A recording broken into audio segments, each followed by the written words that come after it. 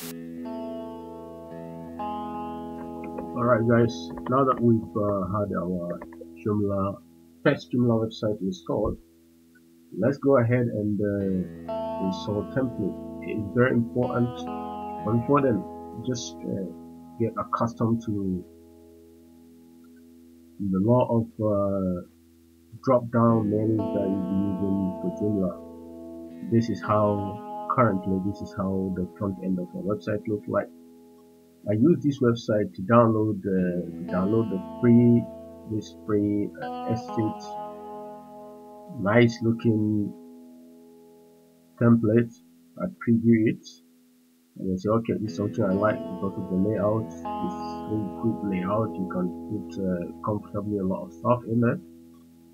After previewing it I say okay I love it. So go ahead and download it. I did that already. And so the next thing you go you go back to the front end of the website. Extension manager extensions extension manager. Click on extension manager. Um, and then you search for the location of the file on your computer. In my case normally if you want to download it's where I download stuff I'll find it and then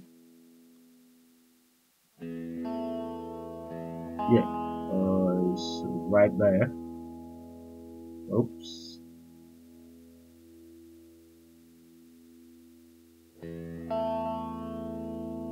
Yeah it's um right here. So open it up and then click upload and uh, install this is some information update that is coming up about that so I'll go ahead and click update and install. And the wait it will take a while depending on the size of the templates. Some templates are feature rich so they take a bit of time and voila!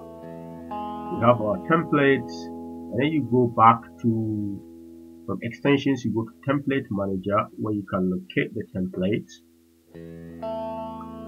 and then make it a default by clicking in this star set as defaults. And voila I set it as default and then let's go back to the front end and see what happened to our website. We refresh